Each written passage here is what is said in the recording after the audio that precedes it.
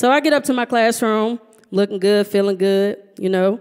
The kids are sitting in there looking how they look, you know, irritated. I'm like, what do y'all have to be irritated about? Y'all don't even pay bills. Like, have you seen how high gas is? I should be the one with the attitude. Like, why do y'all have an attitude? They sitting there with their glazed over look in their eyes, and I'm ready for the day, man. I got my Starbucks, I'm feeling good, you know?